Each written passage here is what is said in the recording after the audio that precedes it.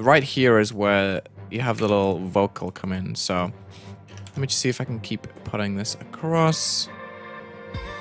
And I'm probably going to put like a little pad here that copies the background color as well on base and detail. And we can just move that straight down just as a nice little intro here. Uh, three, can go down 10.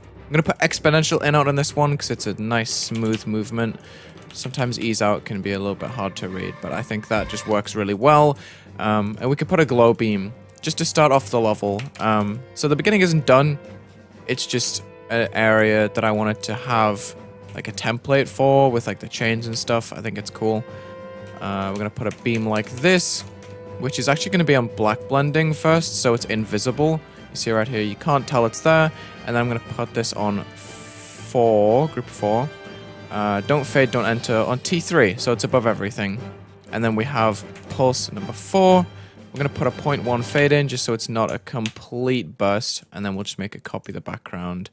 Uh, let me test. Which way is it hueing? Okay, pink is cool, but it's not very bright, so we're going to crank that up there. Maybe even using additive just to make it go like super bright, yeah.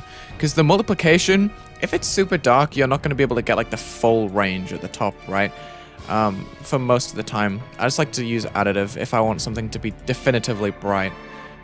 Um, so there is a little pulse right there. We're going to have to have some sort of climactic uh, change in the deco.